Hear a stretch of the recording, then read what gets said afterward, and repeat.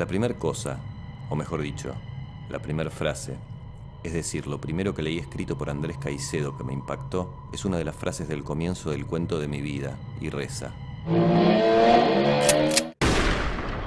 La primera cagada que recuerdo fue en el kinder del Pío 12.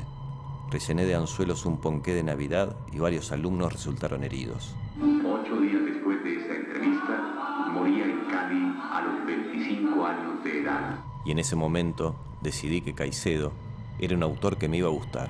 Miau. Un autor del cual iba a averiguar, o al menos tratar de averiguar, todo lo que fuera posible. Y también...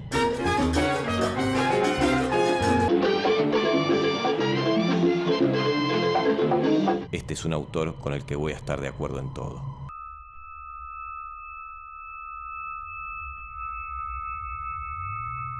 Entonces seguí leyendo, y cuando creí haber leído todo lo que había escrito, me di cuenta de que aún había cosas por descubrir. ¿Ha usado cocaína, heroína?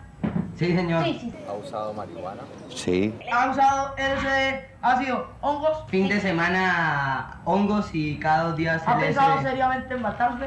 Y seguí leyendo, y me di cuenta de que Caicedo era un autor inabarcable, No te vayas, no te vayas, no te vayas, no te vayas, no te vayas, no te vayas.